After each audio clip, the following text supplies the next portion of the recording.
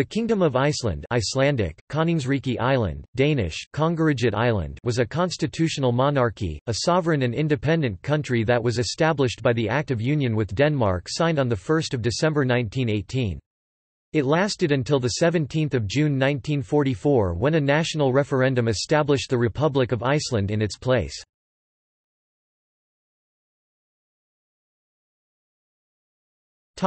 Origins of Danish rule Because of the Kalmar Union, Iceland had been under the control of the Crown of Denmark since 1380, although formally it had been a Norwegian possession until 1814.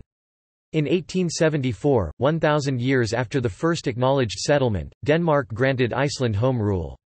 The constitution, written the same year, was revised in 1903 and the extent of Iceland's home rule increased in 1904. A minister for Icelandic affairs, residing in Reykjavik, was made responsible to the Althing, the Icelandic parliament.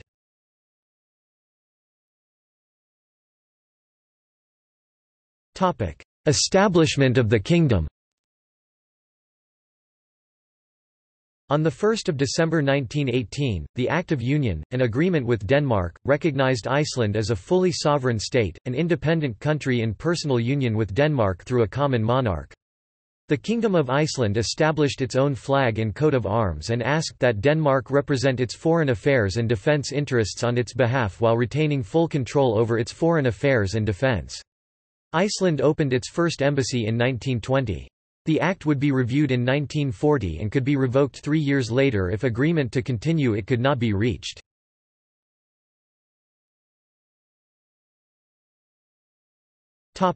World War II, British occupation and the establishment of the Republic The German occupation of Denmark on 9 April 1940 severed communications between Iceland and Denmark. As a result, on 10 April, the Althing passed two resolutions investing the Icelandic cabinet with the power of head of state and declaring that Iceland would accept full responsibility for both foreign policy and coastal surveillance. A year later, on 15 May 1941 the Althing adopted a law creating the position of regent for Sveinn Björnsson in order to represent the monarchy.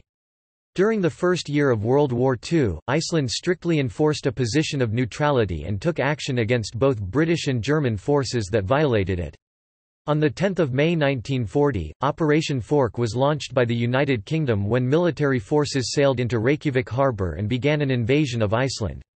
The government of Iceland issued a protest against what it called a flagrant violation of Icelandic neutrality. On the day of the invasion, Prime Minister Hermann Jónasson read a radio announcement instructing Icelanders to treat the British troops as guests.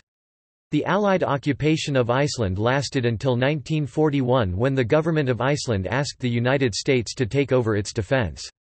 The defense of Iceland was the United States' first participation in World War II.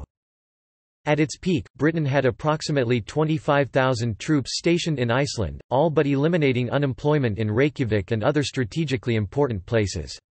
In July 1941, the Althingi adopted the American-Icelandic Defense Agreement, passing responsibility for Iceland's defense to the United States.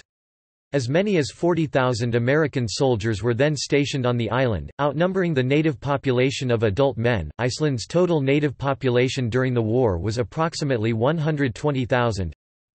Following a constitutional referendum in May 1944, Iceland formally became a republic on 17 June 1944. Many Danes felt offended at its timing, as Denmark was still occupied by Germany. The king in Copenhagen, Christian X, nonetheless sent a message of congratulations to the Icelandic people.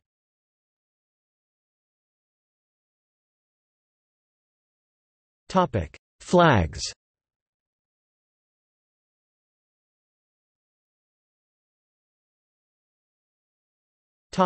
See also. Nobility in Iceland. Icelandic independence movement Danish realm Constitution of Denmark Greenlandic independence Faroese independence